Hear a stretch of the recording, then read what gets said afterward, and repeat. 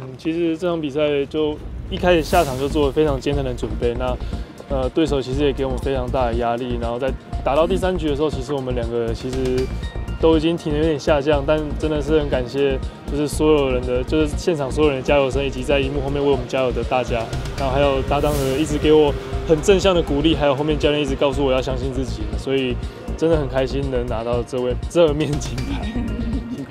李阳呢？这位金牌吧。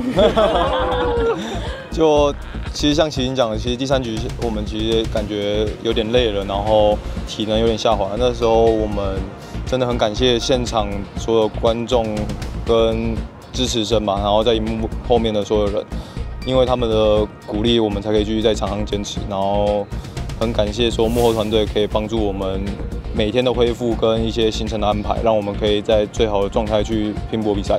因为我觉得对我来讲象征了，因为我打完之后要退役嘛，对我来讲象象征羽毛球带给我很多美好，让我认识了大家，让我认识很多贵人、美好的人。我那个举动希望可以跟他好好吻别。因为上一次在东京的时候，其实我们没有预设我们会拿到那面牌，然后其实有点处于懵懵懂懂的状态，只一直傻笑。对，只一直傻笑说好扯哦。但这一次因为这三年来我们经经历的真的非常多，就是什么就是起起伏伏，然后也经经历了许多质疑声，那中间的过程就是我们两个自己知道非常清楚，所以能再次站上颁奖台，然后又可以让国旗哥在会场去做播放，我真的觉得非常的感动。那那一刻真的是有哽咽。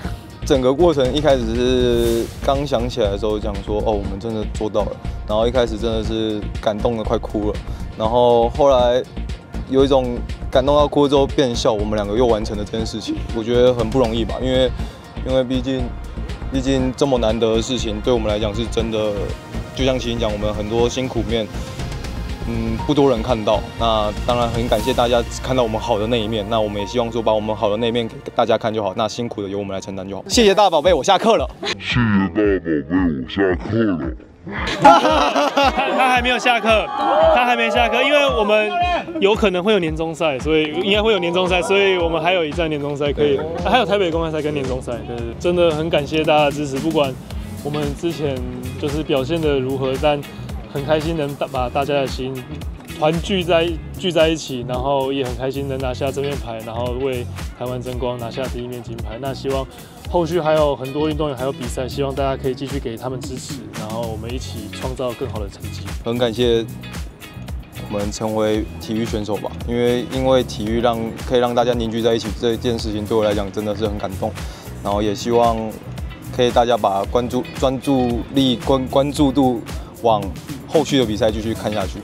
你要互咬是吗？互咬听起来好可怕。听到。